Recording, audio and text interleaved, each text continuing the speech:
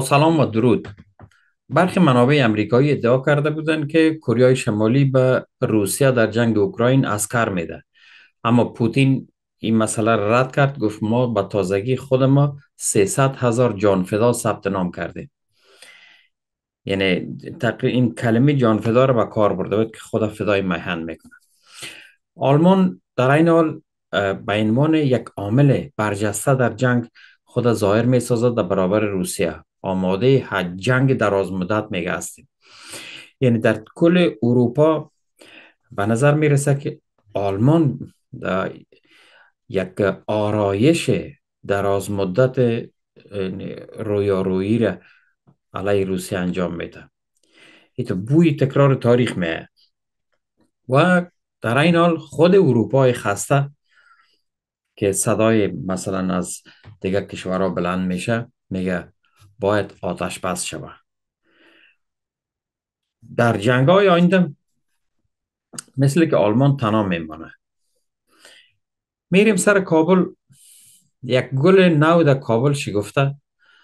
طالبا به تمام دکاندارای کابل و کل ولایات هشدار دادن که انرژی ریبل و مانستر باید فروخته نشه. این در, در است که ریبل مانستر ما شما اعلانات شام دیدیم. این ممنوع شده. گفته جریمه و زندان داره. کسی که بنوشه دلیلش هم است که در ترکیب این نوشابه ها ویتامین خوک است و الکل هم در اون مخلوط است. حال دیگه گپشان به اینجا کشید. روزنامه واشنگتن پست یک گپ علنی اما به اصطلاح بظاهر پنهان مانده را افشا کرد که سازمان اطلاعات مرکزی امریکا سیایی اطلاعات ضد تروریسم به طالبان میده. در این شک نیست. حالا خود طالب بخشی از امو دیپارتمنت سیایی است دیگه. مایکل لیتر رئیس سابق مرکز ملی مبارزه با تروریسم امریکا گفته که ما بسیار خوشچانس هستیم. در یک وضعیت منافع ما و طالبا یکیست. بر منکرش لعنت. اما ما با جلو ببینیم که عاقبت این خوشچانسی به کجا می‌کشه در نیجر فرانسه قوای خود آماده جنگ با نیجر کرده. حالا زیاد شوخی بردارم نیست این مسئله. روسیه در واکنش به اینا دو جنگنده پیشرفته سوخوسی را وارد نیجر ساخته در میدان هوایی نیجر فرود آمده. فرود آمدن این دو جنگنده ای وزیر به وسیله وزیر بازرگانی دولت نیجر تایید شد و در این حال قواتای روسی واگنر در اونجا هم مستقر هستند. اما ای که بعد از کودتای نیجر چرا اینجا انوز اقدامی نمیشه تصادمی رخ نمیده ایره ما باید در تعاملات بین روسیه و امریکا جستجو بکنیم که فرانسه به عنوان یک عامل دائمی از ذخایر نیجر حذف شود و ذخایر طبیعی نیجر بین امریکا و روسیه یعنی در داخل یک در چارچوب یک توافق باید تقسیم شود. اینطور معلوم میشه. زلنسکی مثل اشرف غنی منتظر است که برا با واشنگتن. دست پر یا دست خالی؟ کمک 24 میلیارد دلاری اوکراین امریکا با اوکراین در میان است. یک مقام امریکایی گفته که زلنسکی با بایدن پنجشنبه آینده در کاخ سفید دیدار می‌کنه. سفرش در حالی انجام میشه که بایدن 24 میلیارد دلار کمک نظامی به اوکراین کمک تازه پیشنهاد کرده. ای که بایدن با این کمک ها خود بیمه می‌کنه در انتخابات با کنار اما آیا 24 میلیارد دلار به اوکراین خواهد رسید؟ تجربه افغانستان به ما چی میگه؟ هرگز نخواهد رسید. او کل جذب مو طرف میشه با آن هم اینکه اختلاف فضاینده در کنگره بر سر تأمین این بودجه اضافی وجود داره به خاطر از اینکه بایدن 13 اشاریه یک میلیارد دلار کمک نظامی اضافی و 8 اشاریه 5 میلیارد دلار کمک بشردوستانه رو درخواست کرده. و خب یعنی خود دو, می دو نیم میلیارد دلارش از طریق بانک جهانی داده میشه. خب به هر حال همه چیز هم طرف توجیه کردن سوال است.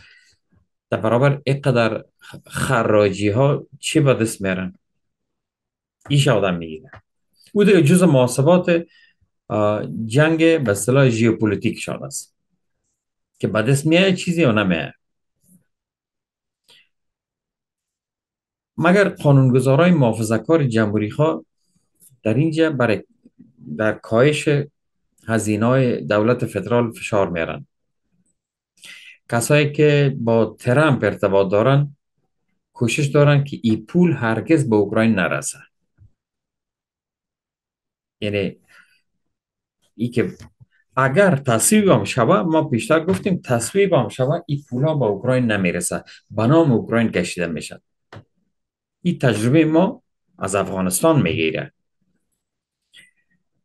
در این طرف خب اینا کمک های نظامی را اضافه می‌کنن در طرف روسیه صنایع دفاعی روسیه یعنی صنایع تولید اسلحه بسیار شدت گرفته یعنی تولیداتش دو برابر شده. ایره خود نشریه امریکایی بزنس اینسایدر به نقل از یکی از مقامات دفتر صنعت و امنیت وزارت بازرگانی امریکایی گفته گفته که اینا تولیداتشان سریع شده. تولیدات تیاره توپ تانک زیردریایی راکت موشک پهپاد مهمات. نیویورک تایمز هم به نقل از یک مقام ارشد وزارت دفاع استونیا نوشته که تولید مهمات روسیه افت برابر بیشتر از امریکا و اروپا است. خوابی تولیدات به چه خاطر است؟ اینقدر که یعنی مازاد تولید خب مازاد تولید نیست. این نظر به ضرورت که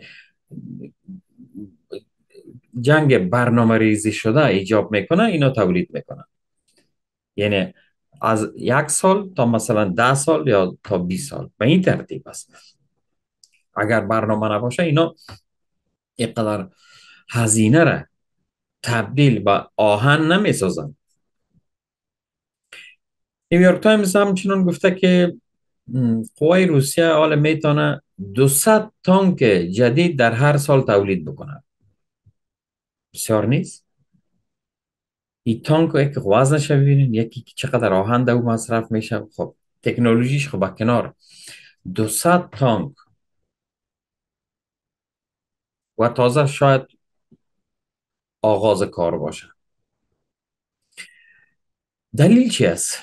دلیلش است که یک نیم سال یک نیم سال اینا تبلیغات می‌کردن که ذخایر روسیه در حال تمام شدن است. موشک نداره کارخانهایش ناکارآمد است که دوره اتحاد شوروی است که چطور است؟ چنان است.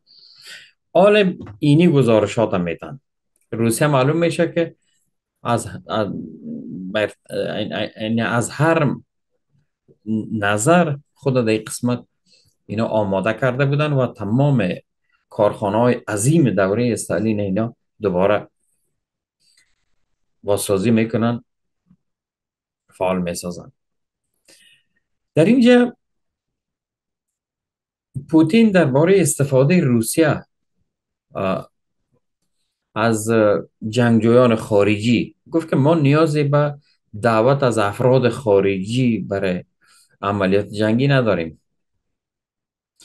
ما خود ما 300 هزار نفر قراردادی جدید ثبت نام کردیم که به عنوان داوطلب آمدن.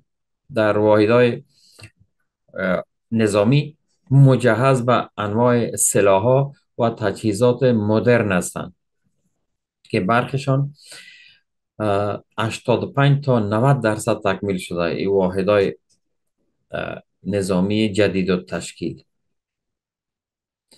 خب البته پوتین اشارهش به برخی ادعاها در مورد گرفتن کمک نظامی پیاده از کوریای شمالی بود گفت که کاملا یک گپ مزخرف است. چرا مزخرف است؟ پوتین گفت که سربازای ما از کل روسیه قرارداد امضا می‌کنه خودشان از کشور خود حراست می‌کنن. 270 هزار اما این داده ها 270 هزار نفر نبود. تازه ترین گزارشی است که 300 هزار نفر قراردادی داوطلب آمدن تا در راه به اصطلاح روسیه و میهن جان فدایی کنن. همو دیگه.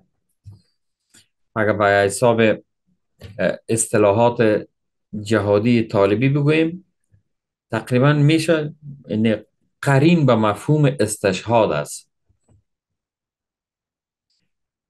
خب وزیر دفاع ایتالیا اونا یکی از مشوشترین کشورهایی که نسبت به جنگ اوکراین اعلام موضع می‌کنه ایتالیاست چون منابع اقتصادی بسیار بالنده نداره. میگه که ظرف 7 تا 8 ماه حتما درگیری در اوکراین خاتمه پیدا می‌کنه. چرا؟ به خاطر از اینکه نیروهای مسلح اوکراین که علا رغم تبلیغاتی که چندین ماه صورت گرفت ضد حمله از اینا به یک یک راه پیمایی به یک مارش به اصطلاح پیروزمند تبدیل نشد. حالا که تبدیل نشد ضرورت مذاکره بر سر آتش بس مطرح میشه. وال استری جورنال نشری امریکایی میگه که غرب نتوانست دوستان روسیه را در بحث اوکراین به طرف خود جلب بکنه. دوستان روسیه در قدم اول ایران است چین است هندوستان است. خب نتوانست. بسیاری از بزرگترین اقتصادهای نوزور خود امینا میگه جمله هند افریقای جنوبی برزیل نسبت به این جنگ بیطرف می اعلام بیطرفی کردن. یعنی به روسیه کمک می‌کنن در این حال بیطرفی تا تحریم ها را دور بزند. دیپلمات ها در ماه اخیر در, در بسیاری کشورها حال تمایل ندارن که از روسیه انتقاد کنن. یعنی اوکراین داره به فراموشی میره. یک بستر به است که دمانش سپری میشه. چرا اینطور شد؟ خود کارشناس های غربی میگن که اروپا و امریکا در این جنگ یعنی درجه خصومت کشورها با امریکا و اروپا را دست کم گرفته بودند. که چقدر کشورها علیه از اینا سیاست هایشان موزگیری خسمانه داره اینجا بازم آلمان مگر رای خود میره؟ خبرهای که از آلمان می‌رسه خبر از یک ایستادگی دراز مدت در برابر روسیه داره. مثل که می آلمان فهمیده که هدف اصلی ای جنگ نه کل اروپا بلکه ناتوانمندسازی دوباره آلمان است. چرا تاریخ نشان میده که هر زمان که آلمان بسیار بالا میه تبدیل به حیولای تهاجمی میشه. روسایی را می‌دانن. خود آلمان هم آل این متوجه شده. سرلشکر بونسوهر رئیس مرکز وضعیت اوکراین در وزارت دفاع آلمان که بخش اوکراین کار می‌کنه میگه مقامات و ارتش آلمان خود بر یک جنگ طولانی آماده می‌کنن خب کدام جنگ طولانی یعنی شما کس جنگ داره جنگ نداره جنگ طولانی امی جنگ اوکراین است که میره به طرف آلمان و میگه ما بنابراین آماده حمایت طولانی از اوکراین هستیم یعنی خط اول ما تا رسیدن دوباره موج تاریخی و سوی آلمان بازم اوکراین است کیف است ما کیف باید تقویت بکنیم و تبدیل به یک کوه بازدارنده شود. خب این میز گرد در بنیاد ویکتور پینچوک برگزار شده بود که سرلشکر آلمانی گفت که ما آماده هستیم که به اصطلاح متحد زمان باشیم نه متحد پوتین. ببین چی یک گپ معناداری زده. متحد زمان بودن یعنی که ما صبر بکنیم که هر چیز به وقتش اتفاق بیفته. یعنی به زمان نیاز داریم. اتحاد پوتین به ما به درد نمی‌خواد یعنی امو حرف است که اینا آمادگی استراتژیک به یک جنگ آخر و زمانی با روسیه دارن. من من که خبر دیدم دو سه باری را خواندم. ما شما زنده باشیم یا نباشیم. این مسافه تاریخی در عصر جدید روی خواهد داد بازم. اینجا دستیار سابق وزیر دفاع آلمان همین جنرال میگه که تنها رسیدن به مرزای سال 1991 در اوکراین البته. در صورتی است که تمام سرزمین های اشغال شده توسط روسیه آل دوباره پس گرفته شود. او این خیالشان در اینجا در این تاینی سرحد است. و حمایت از اوکراین باید در آینده حتی بهتر شود.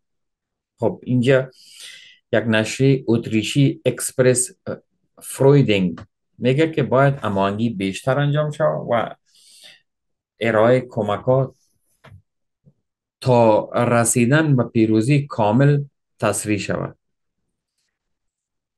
من که خبر دیدم خب اینا خواب های آینده است. اما وحشتش عالی آمده آمده. نماینده دایم مثلا سابق نماینده آلمان در سازمان ملل رودیگر لودیکینگ. یه آدم در باره لزوم مذاکره با روسیه گپ می‌زنه میگه این کار نکنین از این خیالات دور باشین. میگه ما در یک مرحله جنگ هستیم که واقعا نیاز به مذاکره یا حداقل آتش بس داریم. چرا؟ هزاران سرباز در حال مرگ هستن. در میادین نبرد. هر روز احتمالا یک هزاران سرباز یعنی میره در حالت فرسودگی تقریبا هیچ پیشرفتی هم نداره هر دو طرف هم متوجه شده که به این راحتی به جنگ به اصطلاح به هدف خود نمی‌رسن. این جنگ طولانی تر خواهد بود. و سوالی است که چقدر طول می‌کشه. اینجا ما می‌بینیم که گروه هایی که اصرار بر محافظه که اصرار بر جنگ دائمی دارن و گروه هایی که نسبت به عواقب این سیاست ها نسبت به عواقب جنگ نگرانی دارن. و بحث مذاکره و معامله را پیش می‌کنن خب حالا یک سوال پیش پیش اردو جنایی است که همین جنگ چقدر طول می‌کشه تا تا به اصطلاح برنامه مذاکرات احتمالی را با شرط و شروط که وضع می‌کنن چی وقت آغاز بکنن و این آدم رودیگر لودیکینگ میگه که من واقعا دل من برای می شروع مذاکرات بسیار تنگ شده. خب ما چی باید فکر کنیم در واریزی این برنامه من موضوع آلمان موضوع مشکوک می‌بینم و ممکن است تغییراتی هم که در میدان جنگ روی بته ابتکارش در دست امریکا و آلمان است. آیا آلمان خود قربانی امریکا می سازه یا امریکا در کنار آلمان برخلاف جنگ دوم جهانی در کنار آلمان باقی خواهد ماند؟ اما یک چیز ما گفته می‌تونیم که امریکا در کنار منافع خودش باقی خواهد ماند. تا دیده شود که چه پیش آید. تا بعد.